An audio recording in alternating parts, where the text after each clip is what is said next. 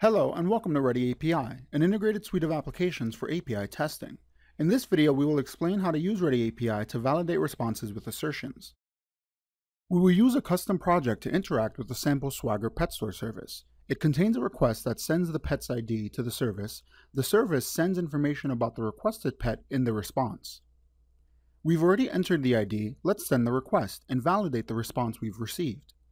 To begin, we expand the assertions panel of the request editor and click this button to add an assertion.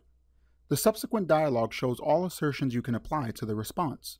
There are multiple categories of assertions for various tasks, like for example, validating the message content and the message structure.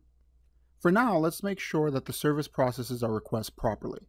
The easiest way to do this is to check the status code, and for this purpose we will use the valid HTTP status code assertion. We need to supply one or more expected status codes within the assertion settings dialog.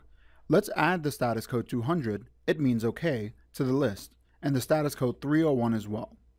After saving the assertion, ReadyAPI applies it to the last response and marks the assertion as passed. Let's now check the response's content. Our service returns JSON, so we will use one of the assertions that validates JSON. The JSON path match assertion checks whether the specified node within the response message contains the expected value. To specify the node to check, click this button. From the last response's data, we can obtain the name of the first tag of our pet. Click on it. Ready API generates the JSON path expression, which refers to a specific node within a JSON message.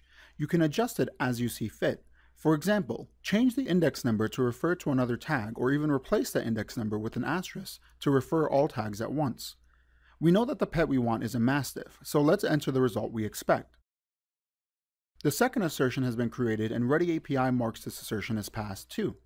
If we don't change the ID, the service returns the same response, so this assertion will pass, but if we change the ID, the service will return information about another pet, and the assertion will fail.